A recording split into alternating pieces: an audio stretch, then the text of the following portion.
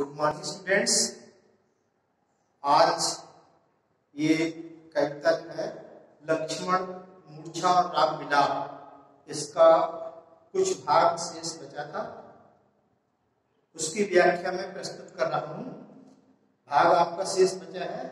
प्रभु प्रहलाद सुन, इसे चाह कल्याण का तो इस भाग में बताया है कि हनुमान जी जो वापस नहीं आए हैं, उससे प्रभु श्री राम बहुत परेशान हैं और वो विलाप करते हैं। और इसी वक्त जो है, हनुमान जी वहाँ पर प्रस्तुत हो जाते हैं। तो जो शोक का जो माहौल जो बना हुआ था, वह साहस और वीरता के माहौल में बदल जाता है। तो प्रभु प्रहलाद सुन कान विकल है वानर निकर आई गए हनुमान, जिम कर नाम है वीर रस।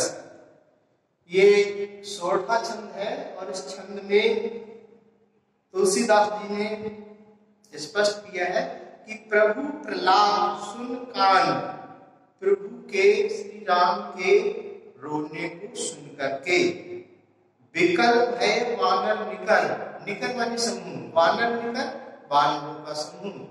जो राम की सेना में वानर थे, वे श्री राम के विलाप को सुनकर बहुत परेशान हो रहे थे। आए गए हनुमान। इसी वक्त, इसी समय हनुमान जी संजीवनी बूटी लेकर आ गए।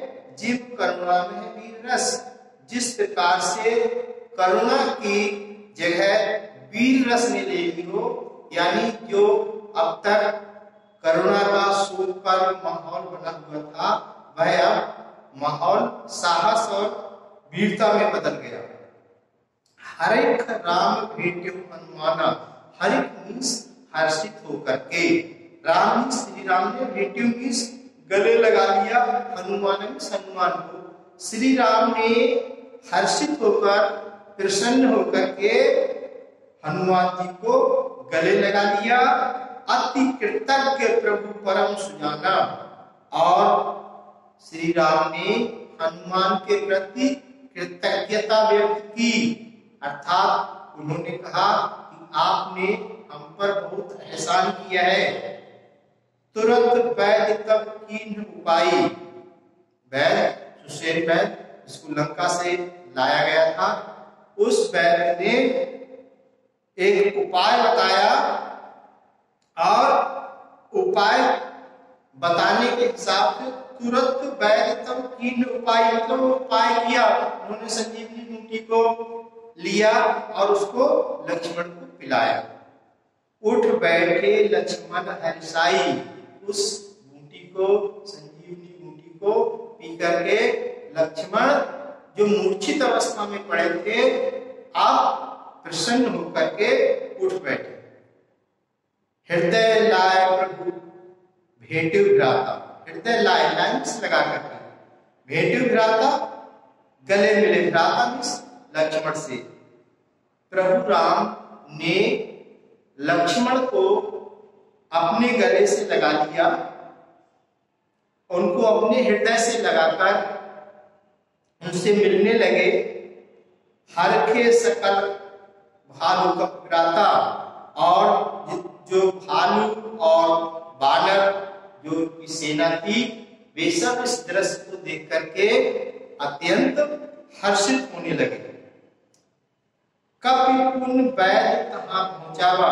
कप मीन्स यहाँ पर कप मीन्स वैसे बंदर के लिए आता है, लेकिन यहाँ हनुमान जी के लिए आया है, क्योंकि हनुमान जी ही सुशेन वैद को लंका से लाए थे और फिर वही उसको पहुँचाने जाते हैं। कप पुण्य वैद कहाँ पहुंचावा पुण्य मीन्स फिर से वैद मीन्स वैद सुशेन वैद को हनुमान जी ने वहीं पहुँचा दिया जिस प्रकार से लोग उनको वहाँ से लाए थे अपने साथ, उसी प्रकार वो वहाँ पर उनके वैद्य जी के घर पे उनको पहुंचाकर चले आए। यह वृतांत दशानन सुनेव दशानन रावण। यह वृत्तांत, कौन सा वृत्तांत? कि लक्ष्मण की मूर्छा अब ठीक हो गई है अब वो मूर्छित अवस्था से चेतन अवस्था में आ गए हैं। तो यह वृत्तांत दशानन सुनेव जब रावण ने यह वृत्तांत, ये समाचार सुना तो अति विषाद तो अति विषाद विषाद मीन्स परेशान होना, दुखी होना तो रावण अत्यंत दुखी हुआ और वो अपने सिर को धुनने लगा, अटकने लगा, परेशान होने लगा। व्याकुल कुंभकर्ण कहियावा, बहुत परेशान हुआ और उसके, उसने सोचा अब कौन सा उपाय किया जाए? कि हम राम की सेना से लड़ाई लड़ सके, उन पर विजय प्राप्त कर सके। तो उसके दिमाग में आया, उसका भाई कुंभकर्ण जो है, बहुत बलशाली है। उसके, उसकी सहायता लेनी चाहिए। तो व्याकुल कुंभकर्ण पहियावा परेशान होकर रावण कुंभकर्ण के पास गया और विवृत जतन करता ही जगावा। उस समय कुंभकर्ण सो रहा था। अनेक प्रकार से उसको जगाया, क्योंकि वह जो है, बहुत गहरी नींद में सोता था। तो विविध जतन करता ही जगावा और जागा निश्चर देखो कैसा। निश्चर मीन्स कुंभकर्ण के लिए आया है कि वह कुंभकर्ण जाग गया।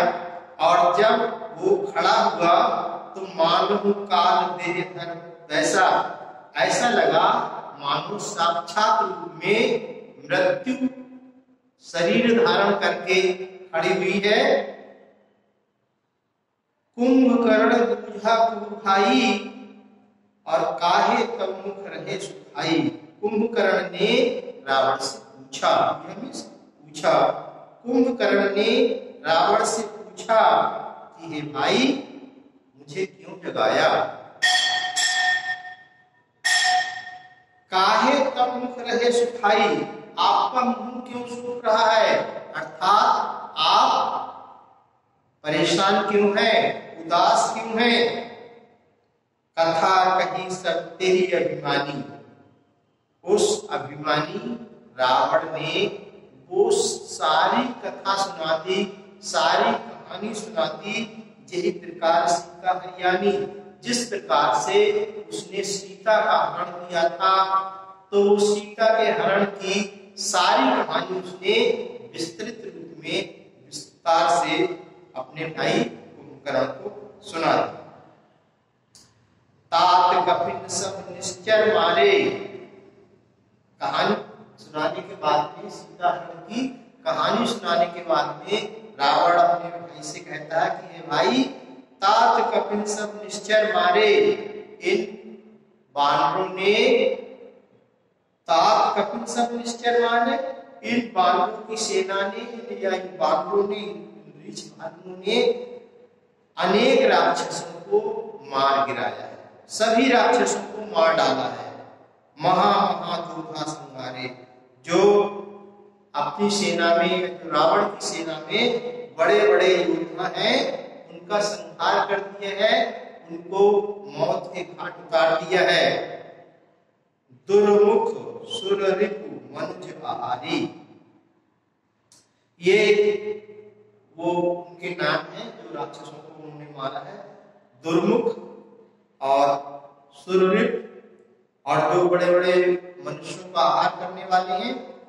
हट अतिकाय अकंपन अकंपन नाम का जो अत्यंत विशाल जो राक्षस है, अपर महोदर आदि वीर इनके अलावा महोदर आदि जो वीर है, परे समर्श महिषभ रणधीरा ये सब युद्ध भूमि में मृत पड़े हैं।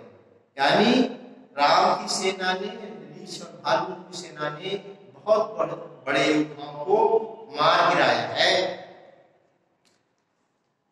तो दोहा ये सुन दस्कंधर वचन तब कुंभकर्ण बिलखान।